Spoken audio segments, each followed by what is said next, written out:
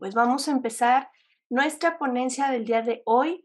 Les doy la más cordial bienvenida. Soy Georgina González, directora del diplomado, y para mí es un honor contar con la participación de Sara, de Maggie y de mi querida Miriam. Y bueno, les voy a presentar sus, sus estudios, quiénes son, para que las conozcan y después cerraré mi micrófono para dejarlas con sus anfitrionas. Magali Padilla, ella es nutrióloga clínica adscrita al Banco de Leche Humana del Estado de Guanajuato. Es responsable de la sección de donadoras y enseñanza en el Banco de Leche Humana de Guanajuato, el Estado de Guanajuato. Cuenta con un diplomado en nutrición clínica perinatal y pediátrica. Eh, Sara Moreno es nutrióloga clínica, facilitadora en diabetes, consultora certificada internacionalmente en lactancia, es IBCLC, tiene un diplomado en nutrición materna infantil y es experta en nutrición infantil por 100 Nutrición. Y Miriam del Toral, ella es asesora especializada en lactancia y lactancia de múltiples por Edulacta. Un segundito. Es la activista 24/7, es acompañante tanatóloga eh, es fundadora de Maternidad Sustentable y colaboradora de Dulacta, Pilu, Fuente de Vida y UPA Tribu. Ellas son sus anfitrionas el día de hoy. Denme cita para dejar entrar. Ya están todas. Muy bien, chicas, gracias. Les pido que les den la más cordial bienvenida. Quienes tienen sus cámaras cerradas, les vamos a pedir que las abran, porque la verdad es un poquito difícil interactuar con nuestros participantes cuando cierran sus cámaras salvo que vayas manejando o que estés en tu trabajo. Si se puede, sería muy lindo que pudiéramos vernos, aunque sea por este medio. Y pues, chicas, adelante. Gracias, Geo. Voy a compartir pantalla.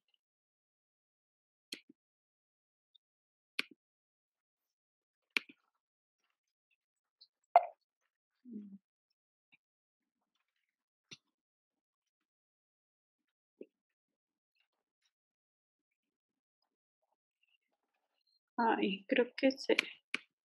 Ok, ¿me pueden indicar si se, si se ve bien? Ok. Bueno, muchas gracias por la presento, presentación, Geo. Me gustaría iniciar esta charla, vaya, con un, un mensaje, más que mensaje, una, se me vino ayer precisamente que preparábamos esto, una de las frases que, que he escuchado de varias mamás que han tenido alguna pérdida, principalmente en el ámbito de, pues, de mi familia, ¿no? Este, por ahí comentan ellas que, que cuando eres pequeño y se mueren tus padres, pues te dicen huérfano, huérfana, ¿no? Que cuando te casas y muere tu pareja, eres la viuda o el viudo, pero cuando se muere un hijo, o sea, realmente pues no tiene un nombre, ¿no? Pues yo soy, como dice Geo Magali Padilla, y pues bienvenidos a esta charla, Muerte Gestacional y Perinatal, que lo hemos titulado como el duelo invisibilizado. Tengo el placer de compartir esta sala el día de hoy con dos grandes colegas, que es Miriam del Toral y Sara Moreno.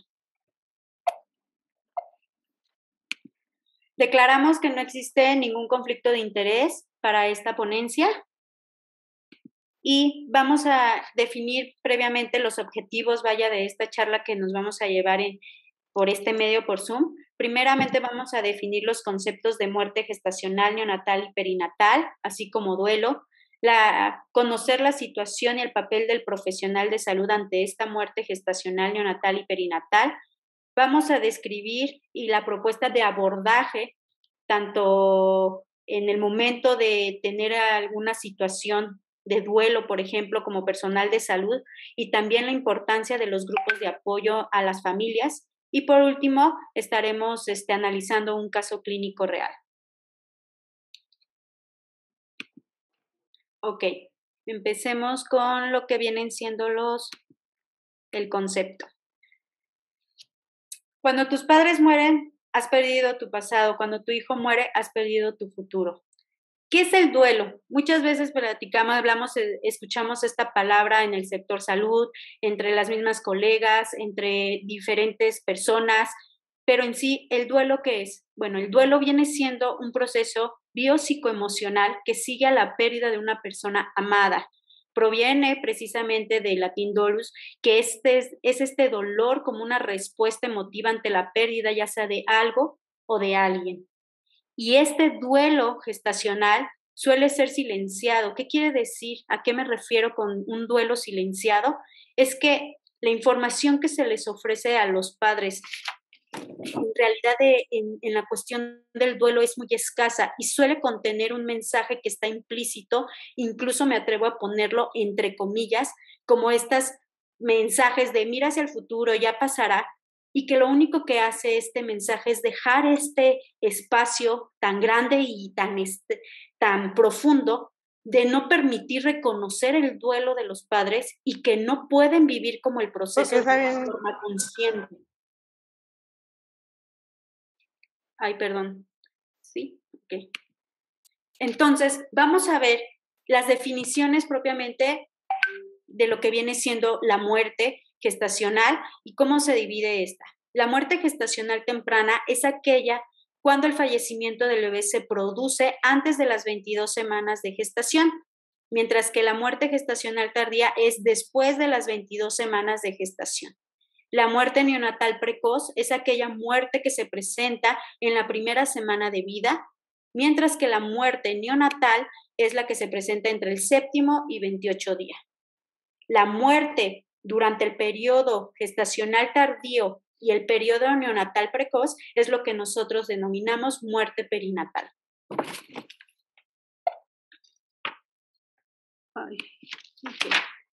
¿Cuál es nuestra situación actual? Pues como sabemos, cuando hay un embarazo, pues los padres viven emociones predominantemente este, alegres, positivas, ya que el embarazo es el, refleja como el comienzo de una nueva etapa, de un proyecto futuro, incluso llega a ser un acontecimiento importante para toda la familia cercana, incluso externa, que se transmite por medio de una fiesta o de algo, no, es una celebración propiamente. Y que la única posibilidad a la que estamos visualizando este embarazo es la posibilidad de este nacimiento de, del hijo, ¿no? Como tal, esperamos todo, que todo embarazo termine en esta felicidad que es el nacimiento. Sin embargo, pues no todos los embarazos tienen este final esperado y una de cuatro mujeres embarazadas vivirá este gran proceso que es la muerte gestacional neonatal o perinatal. Es una realidad a la que nadie quiere mirar de frente y que es muy difícil acompañar y sobre todo el acompañamiento, un acompañamiento que, que sea cercano, respetuoso, un acompañamiento en donde validemos sentimientos precisamente y que muchos, incluso familiares o incluso la misma pareja y personal de salud, no estamos preparados para enfrentar esta pérdida como tal. Es vital que se visibilice toda esta muerte gestacional, esta, esta muerte neonatal y perinatal, sobre todo con el objetivo de buscar un soporte emocional, legal y sanitario en estas familias que están dolientes. ¿Cuál es nuestro papel como profesional de la salud? Bueno, de acuerdo a diferentes este, carreras, vaya, nos han enseñado en el transcurso, en el, principalmente en aquel aspecto de, de sanación, de formación de personal de salud enfocado al personal médico es de curar a veces, aliviar a menudo y, y consolar siempre.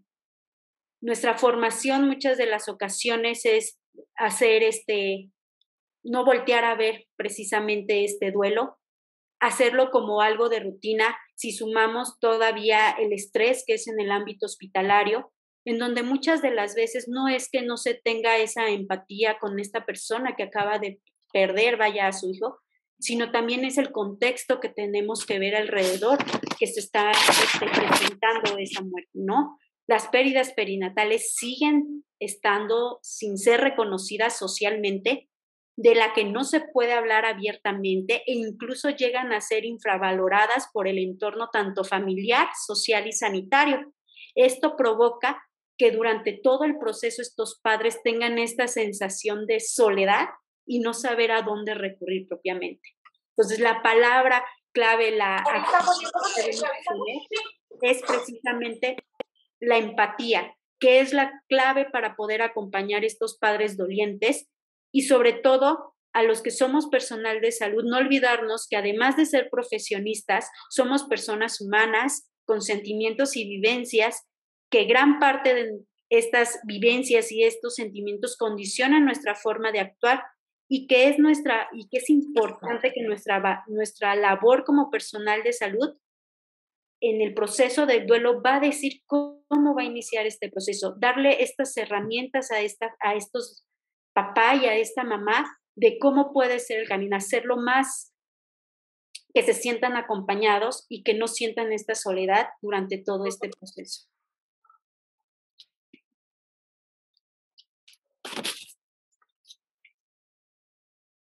Muy bien, ahora vamos a pasar a platicar acerca de lo que es el, abordaje como tal.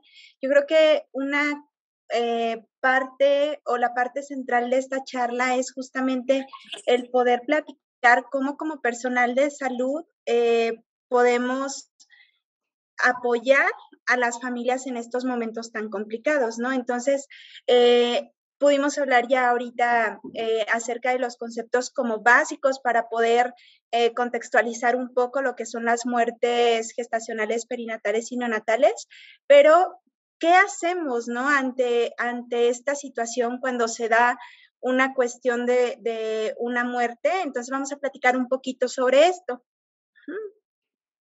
Siguiente, María. Y muy bien es súper importante que nosotros como personal que estamos en contacto con las familias, cuidemos eh, la, sobre todo cómo vamos a comunicar la noticia. Esto generalmente les va a tocar a los médicos, ¿no? A los ginecólogos, pero es muy importante tener presente cómo vamos a abordar estos momentos. Primero que nada, quiero mencionar el entorno. Hay que cuidar cuál es el entorno en donde se va a dar la noticia, ¿no? No podemos dar esta noticia en el pasillo. Siempre tenemos que buscar el que sea eh, un espacio muy cuidado, eh, que haya una sensación de calma, que se denote nuestro interés y respeto hacia las familias. El que preguntemos si se desea estar acompañado, yo creo que esto es algo muy importante. ¿Por qué? Porque muchas veces, sobre todo en, en el sector público, aunque también se en el privado, a veces la mamá está sola y sueltan información eh, sin, sin un previo aviso, ¿no? Por ejemplo.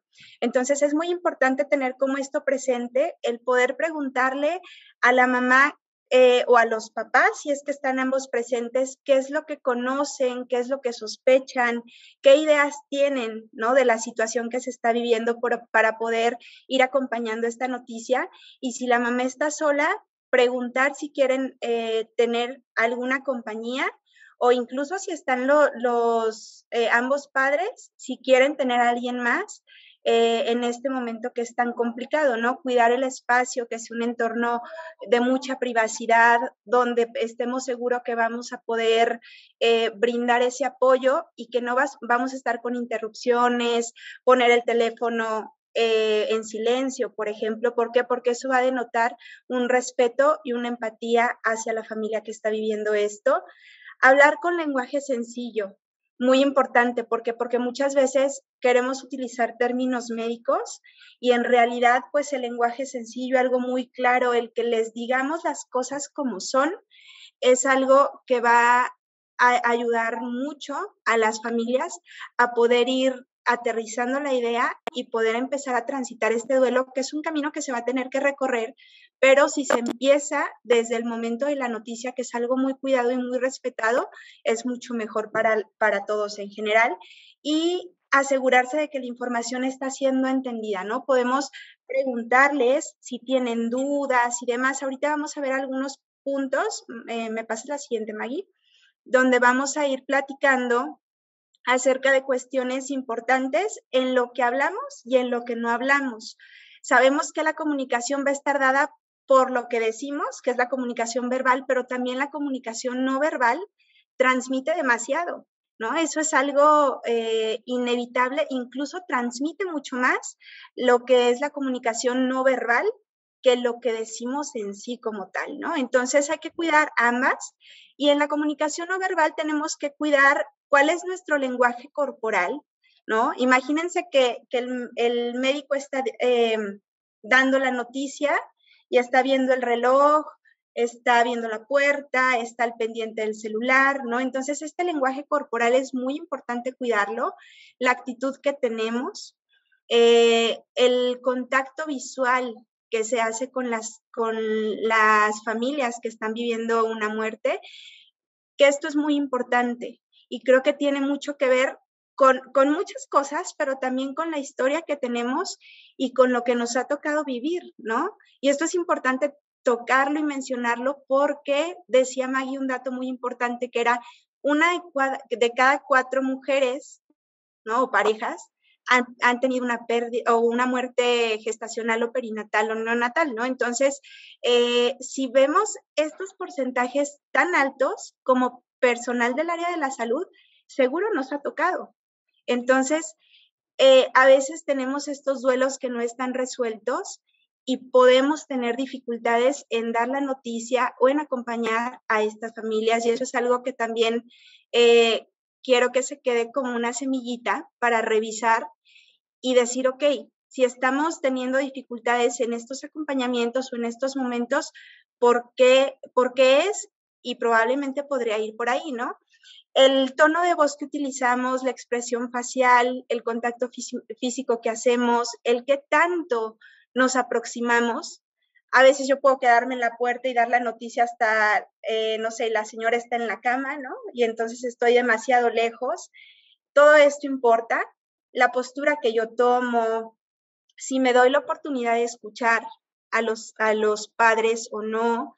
Eh, y hay que leer el lenguaje corporal de la familia en general, porque a veces eh, nosotros queremos estar ahí acompañando y tal vez la familia no quiere en ese momento que estemos. Entonces hay que leer este lenguaje corporal también o viceversa a veces creemos que ya ha terminado la noticia o el momento de acompañar y los papás necesitan más. Entonces hay que leer este lenguaje corporal y realmente saber que, no vamos eh, muy seguramente a tener las palabras ideales. Yo creo que en estos momentos no las hay. Eh, pero también saber que muchas veces el silencio puede ser más apoyo que decir frases, que más adelante lo va a abordar Miriam, pero hay frases que no nos aportan, que al contrario podrían eh, ser, ser como un costalito de arena que le haga más pesado el camino a la familia. Entonces sí es importante tener presente estas frases que la vamos, los vamos a analizar más adelante y que a veces el silencio es mucho mejor. Siguiente. Y ahí este con, con aspectos puntuales que podemos hacer. El simple hecho de presentarnos por nuestro nombre, ¿no? El, el saber quién es quien está a cargo muchas veces es el médico, eh, sobre todo en el ámbito privado, pues el médico que ha llevado como el seguimiento del embarazo, pero en el sector público, pues puede ser cualquiera y sí vale la pena presentarnos con nuestro nombre, escuchar, siempre estar como muy atentos, permitirle a los padres y madres la expresión del dolor, no pasa nada, ¿no? O sea, si el papá, la mamá quiere llorar, quiere reclamar, quiere lo que sea es muy válido y eso es algo que van a valorar las familias. Darles tiempo. ¿A qué me refiero con esto? Vamos a darle información, que es ahorita lo que vamos a ir platicando, pero siempre hay que darles tiempo, ¿no? Preguntarles, ¿necesitan un momento? ¿Quieren estar solos? ¿Necesitan algo, no? Podemos darles como este tiempo para pensar las cosas, eh, hablar con ellos sobre la situación actual, ser muy claros, ¿no? y en esta parte de la claridad sí vale mucho la pena que, nombremos las cosas como son, ¿no? O sea, el, el, bebé falleció, ¿no? O sea, el bebé falleció y que los papás lo tengan muy claro y muy presente y hay que explicarles las opciones, qué opciones tengo de, muchas cosas, ¿no? Vamos a pensar para el, nacimiento, ¿no? Este, eh, qué tipo de, nacimiento podría ser, si, si legrado, si eh, un parto eh, vaginal, una cesárea, dependiendo del momento, pero todas las opciones que hay y en, en, otros aspectos, como la lactancia, por ejemplo, pero siempre darle opciones, nunca obligar y apoyarlos en sus decisiones. Si la familia dice quiero, queremos un parto vaginal, por ejemplo, aquí que es el siguiente eh, punto, que es algo que ayuda mucho en las muertes de este tipo, el tener un, un parto vaginal ayuda mucho a también ir haciendo conciencia y empezar a transitar este duelo más que algún otro tipo de intervenciones. Entonces, vale la pena darles la información, darles tiempo. O sea, no es como de, a ver, hay una muerte gestacional y entonces en este momento te tenemos que pasar a un legrado. No es así, hay que darles tiempo. Pueden eh, ellos ir a casa, pensar las cosas, dependiendo de cada caso, pero en general podemos dar ese espacio para que hagan conciencia y respetar siempre el plan, el plan, de nacimiento que ellos tengan. Mantener la calma nosotros como personal del área de la salud, eh, cuidar el lenguaje corporal, que era lo que comentábamos previamente, pensar en la lactancia. Eso es algo que vamos a retomar después porque al final de cuentas, en este tipo de muertes, eh, hay lo que, lo que vamos a ver como una, una lactancia, pues realmente con brazos vacíos, ¿no? No hay un bebé, pero hay leche. Entonces, ¿qué se hace con esa leche? Y ahorita lo vamos a platicar un poquito más. Hay que ser muy comprensivos con los papás, hay que hacerles sentir la presencia, pero con discreción y, hablar, eh, siguiente, hablar con toda la familia en general. siguiente, Maggie. Cuidar mucho la terminología, que era algo de lo que platicábamos previamente. Utilizar el nombre del bebé. En este punto me quiero detener un poco porque eh, no es un feto, ¿no? Vamos a ver ahorita un caso bastante fuerte respecto a este, este tema que estamos aquí tocando, pero no es un feto, no es este, una bola de células, no son muchas cosas que a veces se dicen, es el bebé de esa pareja. Y ese bebé tiene un nombre muchas veces. Entonces hay que preguntar, hay que utilizar el nombre porque eso es algo que causa eh, mucha empatía y también hace que el acompañamiento sea mucho mejor y como personal de la salud también es bien importante para ver cómo nos sentimos, hablar con ambos padres equitativamente, el papá no es menos, ¿no? Porque es un equipo, al final los únicos que están viviendo la muerte del hijo son ellos dos, ¿no? Como tal, son los únicos en todo el mundo que están eh, teniendo la muerte de su hijo. Entonces, hablar con ambos padres de manera equitativa y también yo diría con incluso con la familia, todos son importantes. Informar, orientar sobre las dudas más habituales acerca del duelo y favorecer la despedida, que ahorita también lo vamos a ver. Ahí este, la siguiente, en el, en el tema de la lactancia, es muy importante tener presente que la leche va a empezar a, ahora sí que a producirse a partir de la semana 16 más o menos del embarazo, aunque esto no es una regla porque hay mujeres que pueden empezar antes, ¿no? Con esa producción de leche hay que hacer una revisión como muy puntual y no hay que dejarlo de lado. La inhibición de la lactancia puede darse con, eh, de forma natural, ¿no? Fisiológica o puede darse con medicamentos, que sería la farmacológica. Cuando nosotros analizamos la práctica común es la farmacológica, ¿no? Entonces, hay una muerte gestacional, neonatal o perinatal, y entonces mandan el medicamento, ¿no? Que el, más común es la cabergolina, y entonces muchas veces hasta vendan pechos. Entonces, imagínense lo doloroso que va, a ser para esa mamá tener la muerte de su hijo y todavía que le estén vendando con esta producción de leche que se está dando y demás. La realidad es que eh, vale mucho la pena informar a las familias cuáles son las opciones, lo que les decía, ok, puede hacerse de una manera fisiológica o de una manera farmacológica. Rápidamente no, no vamos a ahondar aquí, pero en la fisiológica, pues lo que se busca es que la producción vaya bajando de manera gradual. Lo único que se debe indicar a las mamás es que vayan haciendo extracción de leche para que sientan confort, para que no duelan los senos, no para vaciar y eso con el paso de los días pues va a ir haciendo que esa producción vaya disminuyendo hasta que cese.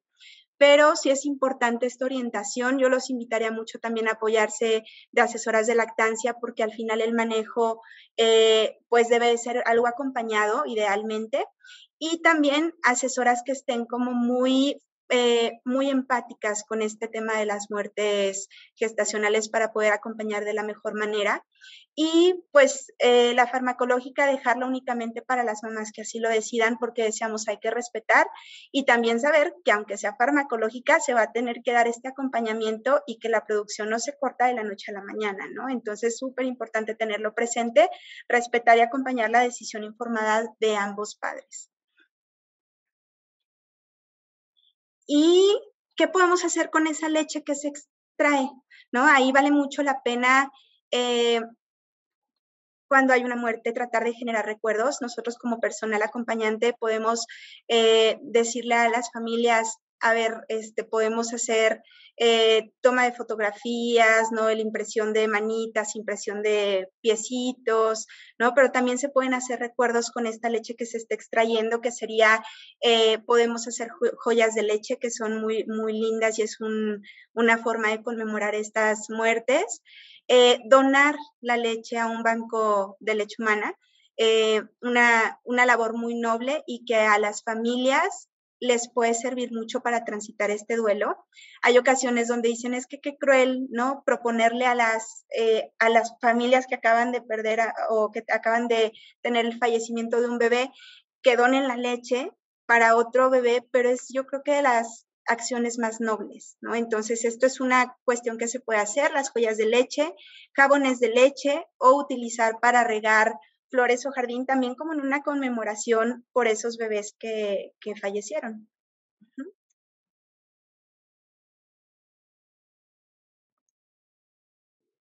Y mm, es mi turno, yo soy Miriam del Toral, eh, las que se incorporaron eh, posteriormente a la charla, pedirles por favor si están en eh, posibilidad de abrir sus cámaras para que nos permitan esta interacción.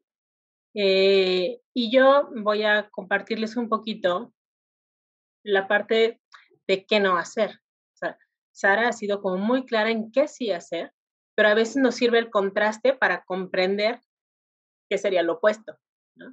Entonces, en este caso, eh, como decía Sara, ahí los protagonistas de lo que está, los que están sufriendo la tragedia son los papás.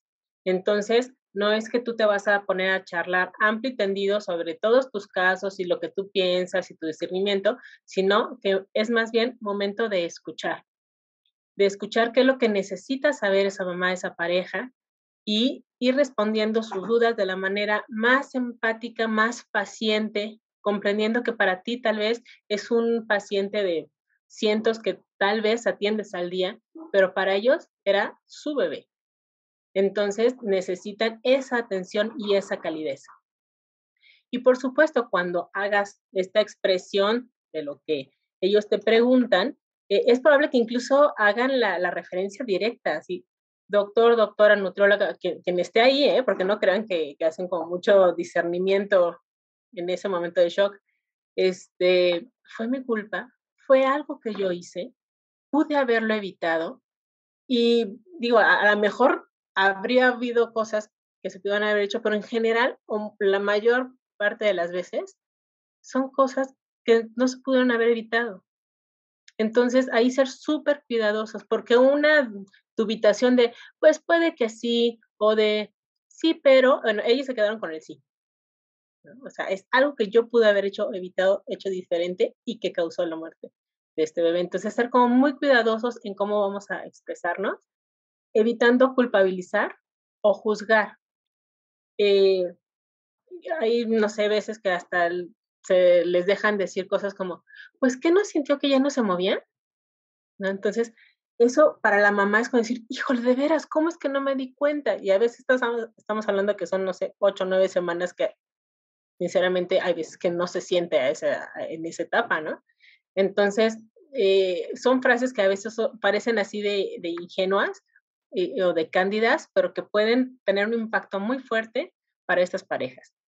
Eh, vamos a procurar evitar decirles qué decir, qué hacer o qué sentir, ¿no? No, pero es que no se ponga así, señora. Es que no es para tanto. Es que eh, no se enoje. Es que no se derrumbe en este momento. Son cosas que ni siquiera son muy humanas, que digamos, pero además eh, pueden causar una herida emocional muy fuerte y que después haga que se detenga este proceso de duelo saludable que podrían transitar en algún otro momento, ¿no? Si desde ahí les estamos forzando a invisibilizar la posibilidad de sus sentimientos y la expresión de sus emociones, eh, después les va a costar muchísimo más trabajo, porque eh, eh, cuando pensamos en dirigir esta charla a todos ustedes que son ya sea estudiantes o personal de salud, del área de la salud, estamos convencidas que ninguno de, ustedes estudió para lastimar a alguien, todo lo contrario, lo hizo pensando en cómo aliviar su dolor, cómo curar, cómo eh, hacer mejor su calidad de vida. Pero a veces, eh, al no tener esto en la visión, esto en nuestro panorama, podríamos incurrir en situaciones que dañen a, estas personas que de por sí ya están en un estado muy vulnerable. Y lo opuesto sería tú robar ese protagonismo y derrumbarte y llorar a moco tendido y que sea la, pareja que se quede asombrada y que te quiera casi que contener a ti porque estás eh, sin control. Eh, y aquí es, quiero retomar algo que mencionó Sara. Si hay algo que me está resonando demasiado, que me está afectando mucho, muy probablemente tiene que ver conmigo y con la necesidad de que yo lo trabaje en terapia en un, o en un proceso terapéutico y que además me va a aportar a mí la posibilidad de tener una mejor práctica profesional. En este sentido, hay eh, compañeros, si pasamos a la siguiente, Maggie, que hacen como lo opuesto, ¿no? Como esto es tan doloroso, entonces ahora me voy a poner una súper coraza y entonces es como un adormecimiento de las sensaciones y de las emociones y así me comporto con las personas que atiendo, porque es, es abrumador, ¿no? Entonces, puedo caer en situaciones muy lastimosas para las personas a las que les pretendo dar servicio.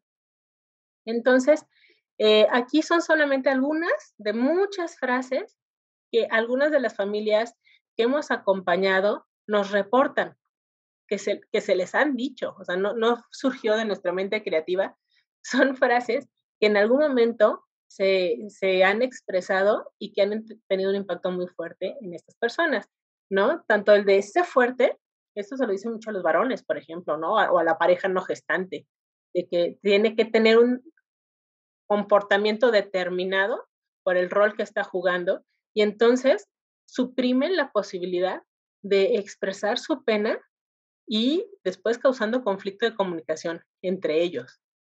O tal cual, señora, no llore. A ver, no llore. Necesitamos hacer ya el legrado. Y la mamá se queda aquí atorada y ese atore se le queda el resto de su vida. O sea, que no habrá momento en que siquiera recuerda a ese momento de shock en donde no se le vuelva a cerrar la garganta y apretar con toda su fuerza con los posteriores problemas de salud que pudieran llegar a, ocasionar también estas emociones reprimidas. Eh, también ser muy cuidadosos, tal vez algunos de nosotros tenemos prácticas religiosas o creencias religiosas determinadas, pero no podemos nosotros embarrárselas a los demás o eh, en este afán como místico, hacer estas frases de, mira, fue voluntad de Dios, es que Dios quería otro angelito, otra florecita en su jardín. A lo mejor verdaderamente lo creemos, pero ¿sabes qué? A esa pareja cero le va a hacer gracia, porque va a estar pensando, pues, qué Dios tan, tan humano, ¿no? Tan insensible que me está arrancando lo que más adoraba. Entonces, son cosas que, que podríamos evitarnos si nos ponemos más bien como en el papel de acompañante y no de protagonistas de lo que está ocurriendo. Y bueno, hay muchísimas más que, que podríamos citar. Ahorita tendremos un análisis de caso donde tendremos un, un lindo surtido de ello. Este, y creer que el tiempo lo cura todo, creo que es muy simplista. Claro que el tiempo va a ayudar, pero va a ayudar más el acompañamiento que se le dé a este proceso de duelo. Entonces, en contraste, las frases que si no sé este, muy bien qué decir, podríamos recurrir a estas. Siento mucho lo que les ha pasado y esto, como decía Sara, acompañado de todo la congruencia de tu lenguaje no verbal, ¿no? Si yo le digo, siento mucho lo que les ha pasado, esa persona no me va a creer porque no estoy siendo genuino. Pero si verdaderamente estoy en contacto visual, al mismo nivel que esas personas, con un tono de voz adecuado, pertinente, con una proximidad este, adecuada, este, siento mucho lo que ha pasado, hicimos el mayor esfuerzo posible, esa persona te lo va a creer. Y entonces va a poder empezar este proceso de, duelo de una manera diferente, no montándose tal vez eh, eh, en otras emociones que lo dificulten. Eh, esto de me imagino cuánta ilusión ha de haber sido para ustedes tener este bebé. Son cosas que le permiten a los otros la expresión de su pena, de su dolor y empezar esta, a echar a andar esta, esta rueda que es muy pesada. Y es muy común y seguramente a alguno de ustedes les habrá pasado, a mí me ha pasado, cuando te emocionas muchísimo por algo que te está abrumando, empiezas a llorar y te preocupa lo que el otro puede estar sintiendo pensando, ¿no? Y entonces empiezas, Ay, no, discúlpame. Ese es el momento de decir, sabes qué, adelante. Necesita, necesita sacar esas lágrimas adelante. Aquí estamos para acompañarte. Es totalmente comprensible que esto sea devastador. Aquí estamos para acompañarte y eso le da permiso a la persona de dejar que el, eh, ese dolor tan profundo vaya avanzando y pueda llegar a, la descarga a través de las lágrimas, del abrazo, de la expresión de dolor. Y eh, esta última frase, eh, o estas últimas dos frases me parecen muy importantes. a veces pues hay personas que no se les da como mucho la palabra o la expresión de sentimientos, que también se vale, pero tal vez así de genuino decirlo, mira, la verdad es que no sé muy bien qué podría decirte que te pudiera consolar. Solo quiero que sepas que aquí estamos. Con eso es más que suficiente a veces para esa pareja.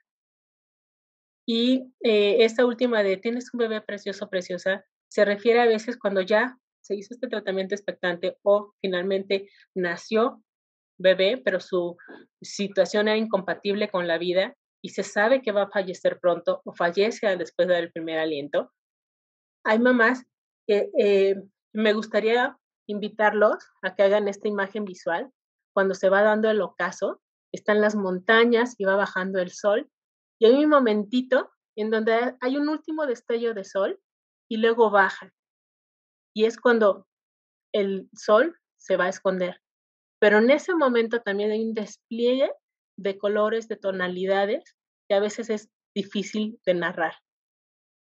Esos momentos es cuando a la, a la mamá, al papá, se les está cerrando el mundo, pero si tú les animas y les puedes como decir esto de, mira qué hermoso es tu bebé, es justo esa imagen hermosa, en donde dentro del dolor pueden rescatar el valor de la vida de sus hijos como hayan sido, a veces con las eh, deformidades que pudieran haber tenido, es el hijo amado, es el hijo de sus entrañas. Entonces, el que nosotros le podamos posibilitar o abrirles el camino al reconocimiento de la belleza dentro de lo terrible que están viviendo, no desde la banalidad, sino desde la empatía, puede permitirles que abracen a sus bebés, que lo sientan y entonces no se queden con las ganas de hacer algo. Claro, siempre preguntándoles nosotros qué es lo que les gustaría hacer. Y a veces en el mejor de los casos y en el mejor de los escenarios, dar un periodo de espera, porque a lo mejor en ese mismo momento en que van haciendo y que está con todos los sentimientos atorados, y, y se le pregunta, oye, quisieras verlo, quisieras abrazarlo, tal vez esa mamá en ese momento diga, no, no quiero, porque es como, ya quiero terminar con este dolor. Pero si le das un poco de espacio, de expresión de dolor, después tal vez te pueda acercar a decirle, oye, dime, ¿te gustaría tal vez ahora ver a tu bebé? O si no lo quieres ver, ¿te gustaría que le tomara alguna foto para que después lo pudieras ver? A lo mejor puedes tener una respuesta diferente. Dar el tiempo a las personas en la pena es muy importante. Eh, y aquí también es importante cuidar al personal de salud porque a veces se, les exige mucho, ¿no? ¿Qué decir, qué no decir, cómo decir, en qué tono, con qué cercanía? Pero ¿a quién cuida al personal de salud? ¿Cómo le hacemos para que no lleguen esta necesidad de adormecimiento emocional por toda la carga y el desgaste que implica la atención, bueno, pues algunas propuestas que les presentamos, que nos, por supuesto, no, no es que es de nuestro ronco pecho trovador, tenemos eh, documentos y protocolos que mencionan que este tipo de esfuerzos redundan en una mejor salud emocional de, la plantilla. Entonces aquí sería, por ejemplo, el que no sea siempre el mismo miembro del equipo el que da la noticia. A lo mejor que se pueda ir rotando y, esto implica que la última, el último circulito de esta imagen, la capacitación, sea siempre el primero, ¿no? Para que todos sepamos qué hacer, cómo hacer, cómo decir, qué, qué sigue después de la noticia, en qué lugar se la voy a dar, todo lo que ya mencionaron antes mis compañeras. Eh, y esto de la expresión de sentimientos ya lo hablamos mucho con los papás, pero también es necesario para las personas que estamos dando atención, que podamos a lo mejor también tener ese espacio después para, después de dar una noticia y una contención de ese estilo, poder también un momento de calma para retomar fuerzas. En este, esto implica o, representa el cuidado de la salud mental y emocional de las personas que son nuestro mayor capital. Este, y en ese sentido, pues puede haber grupos de apoyo que luego no, no les encanta a las personas este término, porque se sienten como analcónicos anónimos, así, que la verdad es que es un súper programa, ¿no? Pero como que sienten que no es fuera para ellos porque es mostrar vulnerabilidad. Pero a lo mejor también lo podemos normar, eh, denominar círculos de revisión de casos, en donde quien lo acompañe esté capacitado para que se dé la expresión de sentimientos, porque a veces la relación que se establece con las familias es estrecha, aun cuando no la hayas conocido mucho tiempo. Hay, hay personas con las que haces clic y cuando ves su dolor, tú también te conmueves. Entonces, que haya la posibilidad de, de demostrar la humanidad que, poseemos es importante. Otra sugerencia sería no combinar o no permitir eh, que estén en el mismo espacio dándose los nacimientos cuando se hacen interrupciones de embarazo. Eso es muy común en los hospitales, en general, públicos y privados. Eh, y no se toma, o pareciera que no se toma en cuenta el impacto que puede tener para una mamá que va entrando a un hospital para interrumpir ese embarazo, para salir con los brazos vacíos, están interactuando con mamás que están al lado, amamantando o bebés llorando al lado de ellos, generando este reflejo de eyección en su, en su pecho con el cual no saben qué hacer, porque bueno, también muchas veces no hay este acompañamiento de la lactancia, que es algo de los que le estamos proponiendo. Y esta identificación de las muertes, ¿a qué nos referimos? Es que eh, haya algún tipo de código, por ahí eh, nuestra maestra Geo González propone el código mariposa, que ya en algunos hospitales se está llevando a cabo, en donde es un distintivo discreto o sea, no se trata de ponerle así la letra escarlata a la mamá, ¿no? Sino que sea algo discreto para el personal que les da atención, que pueda tan solo con llegar, saber que esa mamá está pasando por un proceso de pérdida gestacional, perinatal o neonatal, y que por lo tanto ese nivel de empatía y esa comunicación tiene que ser todavía más cuidada. Me ha tocado casos en donde llegan y les preguntan, así, ¿no? O sea, no sé, la, la nutrióloga, la enfermera, la del, ¿sí? ¿Dónde está el bebé? Y se les parte el corazón a la mamá y el papá. A, mí me pasa sobre todo con, cuando los eh, bebés son prematuritos y están en un UCI. O sea, el bebé no está muerto, ¿eh? Y es posible que tenga grandes posibilidades de sobrevivir. Y aún así, la cara, la expresión de los papás es de sufrimiento profundo. Entonces, tú imagínate cuando ya efectivamente se dio la muerte, y llegan así con desparpajo porque hay un descuido en esta atención. Entonces, es algo que se puede remediar fácilmente con algún código este, que sea para la plantilla. Y como mencioné, la capacitación debe ser constante y debería estar como en un círculo en donde está permeando cada uno de las eh, etapas que hemos mencionado hasta ahora. Gracias. Si les es súper complicado, como, uy, todo lo que dijeron ahorita es mucho, cómo lo recuerdo, cómo lo llevo a la, práctica, tal vez puedan solamente recordar este acrónimo, que es LAST, sería la traducción final del inglés, este, en donde la L se refiere a listen, escucha, escucha a esos padres, qué necesitan, cuáles son sus dudas, cuáles son sus apuros y sus angustias más evidentes. La A de acknowledgement es tanto conocimiento de cómo acompañarlos como de la situación particular de esa familia y de esa pareja. Porque si tienes una mamá que ya viene, por ejemplo, con depresiones, ¿no? Con un historial de depresiones, bueno, a esta mamá le tengo que dar seguimiento, eh, no solamente eh, ahí en, la estancia hospitalaria, sino posteriormente tal vez con psiquiatría, o terapia, si fuera necesario. El AS de support se enlaza con lo que dije eh, anteriormente, pero también con ese momento de contención. ¿Qué puedo hacer yo desde mi conocimiento para acompañar a, estos, a estas personas tal vez en el momento más terrible de sus vidas. Y la T se refiere a touch, que es si crees prudente acercarte, de la o sea, vaya de una manera prudente y discreta, o incluso llegar al toque. Toque, por supuesto, muy discretos, tal vez de la mano, ¿no? O del antebrazo, tal vez del hombro. Si tu cercanía con esa familia es muy estrecha, pues incluso el abrazo.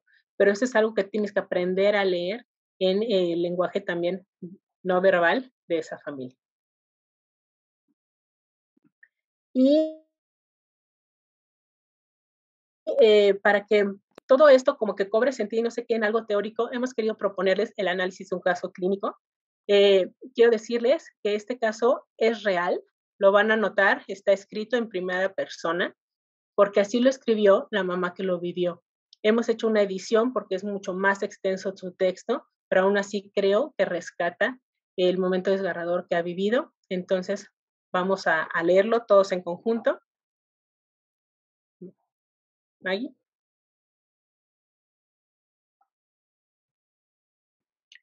Bueno, lo siento, el corazón de su bebé se detuvo. Cuando logré el embarazo por segunda ocasión, después de mucho... Permítanme tantito, es que se está trabando esto. Disculpen. Mm, Cuando logré el embarazo por segunda ocasión después de mucho tiempo buscando y que no llegaba por mi hipotiroidismo, lloramos de gozo y corrimos a, a compartir la noticia. Por protocolo de seguridad de la empresa me pedían chequeos rutinarios. Acudí a consulta y me pasaron al ultrasonido. Supuse algo rutinario y rápido. Pau, mi hija mayor, preguntó si podía entrar y le dijeron que sí entró brincando de emoción. El doctor encargado no me volteó ni a ver. Pau me veía emocionada y le preguntó al doctor que, ¿dónde está mi hermanito? El médico dijo, pues lo mismo intento saber, porque parece que no hay vida. Me sobresalté, vi la pantalla y no entendía nada. Entonces sentenció, no hay vida, usted tiene un huevo hueco.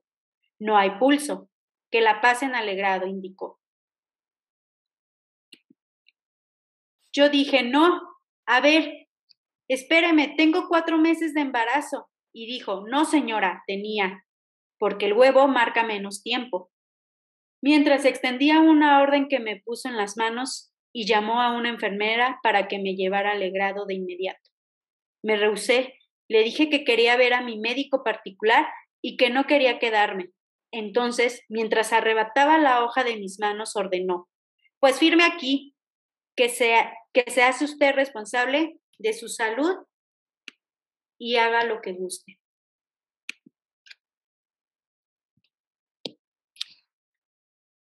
Firmé y salí nerviosa, asustada. Marcamos a mi ginecólogo particular, quien me dijo que no me asustara, que esperara 15 días para revisarme. Le dije, doctor, me dicen, está muerto, véame por favor. Me preguntó algunas cosas y como mis respuestas eran negativas, me mencionó los síntomas de alerta y me indicó que esperara. Fueron 15 días de terror constante. Le pregunté a todo amigo médico qué opinaba. Revisé a San Google y recé a toda hora.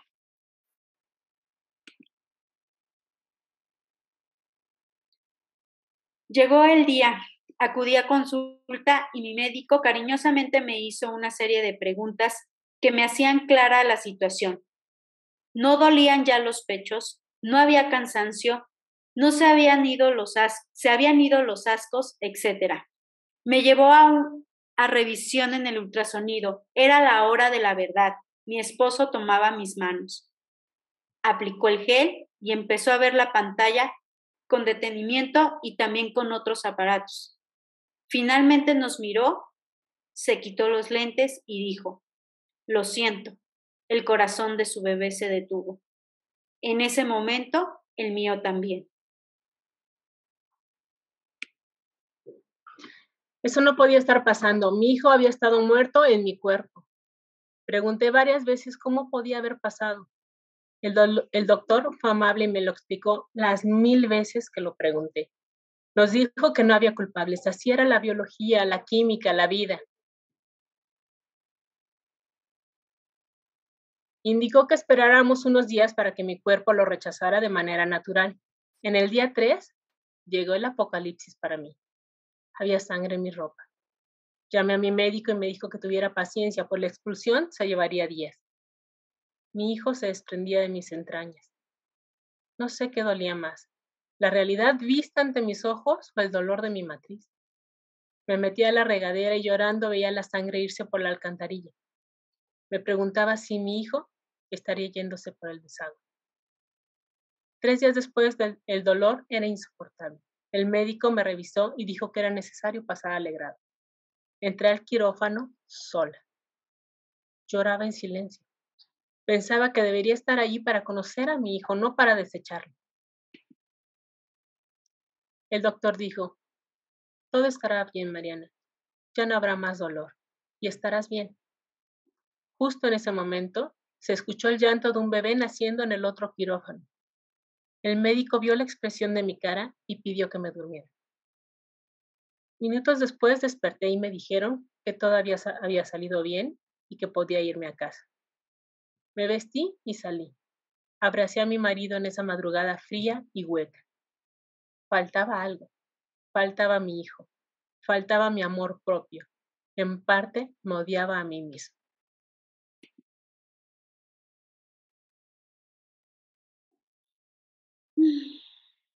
Muy bien, bueno, tenemos ahí lo que es la lectura del caso, eh, que vamos a estar trabajando en, salas, como por equipos de trabajo. Y de un momento voy acá a comentarles algunos aspectos que vamos a ir analizando. La verdad es que es un testimonio bastante duro, pero que no es tampoco común, ¿no? O sea, tristemente no es tampoco común eh, encontrar falta de acompañamiento muchas veces por falta de tiempo, por falta de, preparación como tal, pero este, sí vale mucho la pena que podamos analizarlo. Nos vamos a ir a, algunos grupos de trabajo, nos vamos a dividir en tres.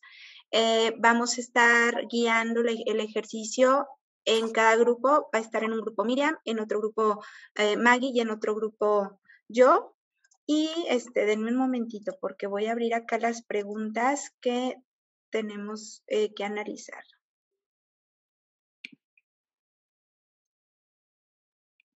A ver. Entonces, eh, hay, hay varias cosas que tenemos que pensar. Lo primero es, ¿qué les parece o cómo consideran que fue la actitud del primer médico? No sé, el primer médico, eh, el que da la noticia, qué es lo que perciben y qué, cómo creen que fue su actitud en general. Pero no solamente queremos que lo piensen en ese sentido, sino porque creen que un, profesional de la salud pudiera llegar a tener este, este tipo de actitudes, ¿no? que podría orillarnos eh, a tener este tipo de, respuestas o esta forma de dar las noticias. Como tercer punto, ¿Cómo les pareció el abordaje del segundo médico que vio a la paciente en todos los momentos del caso? ¿no? ¿Cómo les pareció el abordaje del segundo médico? Eh, como cuarto punto, ¿qué puntos de los abordados en la sesión estuvieron presentes y cuáles no, tanto en positivo como en negativo? Y como último punto, qué abordaje proponen como equipo. Nos vamos a ir eh, a las salas de trabajo, vamos a tomar eh, entre 10 minutitos más o menos por el tiempo, 10, 15 minutos, regresamos y vamos a hacer un cierre. Yo los invito a que escojan un representante de equipo. lo vamos a hacer para que, para que ese representante sea el que nos pueda transmitir lo que pudieron platicar durante la sala de trabajo eh, y poder hacer el cierre. Es lo que mencionábamos ahora en la presentación, Lucy, que, que es necesario también esa atención al, al personal sanitario, que echar culpas o, señalamientos a veces puede resultar eh, fácil y más desde el enojo, pero eh, la realidad es que todos son víctimas. Entonces, en este sentido, entonces necesitamos hacer como eh, también asumir las responsabilidades que sí corresponden. Y esa es la invitación y esta es la propuesta de la formación que estamos haciendo ahora a personal, que nos podamos hacer visibles eh, para este tipo de atenciones, para que no haya más familias padeciendo estas tragedias y que además son invisibilizadas, que no son permitidas por la sociedad, que ya son parte de los otros temas que podrán ustedes eh, observar en las diferentes conferencias que va a haber en este ciclo que ofrece Duelo Respetado por parte de otros compañeros, en donde, si por ejemplo se dan cuenta, eh, el papel o el rol del padre parece que está invisibilizado, ni siquiera se menciona. Entonces tendremos una charla hablando específicamente de esto. ¿Alguna otra de un nuevo embarazo? ¿Qué pasa cuando esta, una pareja con una situación así ahora recibe un nuevo bebé? Entonces todos son temas apasionantes, interesantes, que los invitamos a participar. Esta fue la única charla que tuvo eh, una característica de ser cerrada para poder favorecer este intercambio eh, pero todas las demás están de libre acceso en las redes sociales de Duelo Respetado. Muchas, Muchas gracias, Maggie, Miriam, Sara. Eh, gracias por, por sumarse a romper el silencio. Créanme que te escucho, Lucía, y entiendo perfectamente, te escucho, Elsa, te escucho, María del Refugio, les escucho y es la realidad que tenemos en México, pero quiero decirles que también es una realidad que estamos cambiando como Miriam mencionaba, aquí en Jalisco ya instauramos, más de 11 años de pedirlo, pero se logró y con muchísimo gusto podemos trabajar para que se duplique esto en Guanajuato. El código mariposa, que es bien importante y son cosas tan sencillas como poner los stickers para saber que esa mamá, su bebé falleció. O sea, siempre hay que partir de lo que sí tengo para poder hacer algo con estas familias. Gracias por acompañarnos, por su tiempo. Las ponencias, bueno, esta es la segunda. Tenemos 21 ah, charlas. Eh, por ejemplo, aquí tenemos a nuestra compañera Ana Ruth. Ella estará hablando de precisamente este burnout en el personal de salud, que es muy importante que se atienda.